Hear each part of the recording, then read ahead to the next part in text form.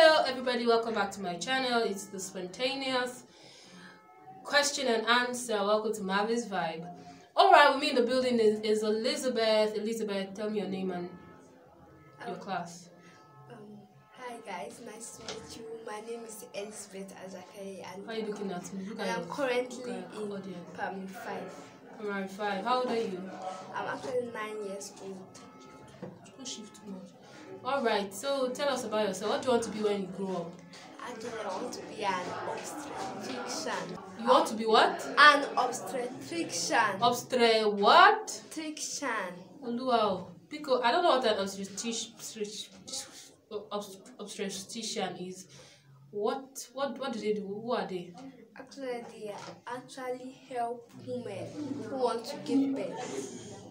Oh wow. Is it I thought they are doctors, normal doctors. No. Doctors are different uh, species. Special better. okay, well, you know the funny part. This girl also just disgraced my old age. I don't know. This is the first time I'm hearing. It's from you. I'm hearing obst- obstetrician. If you know what an obstetrician is, kindly comment in the comment section below. I would really love to know more about obstetrician. All right. So, what's your counsel out there for young people like yourself or adults? For anybody who is listening, what's your counsel?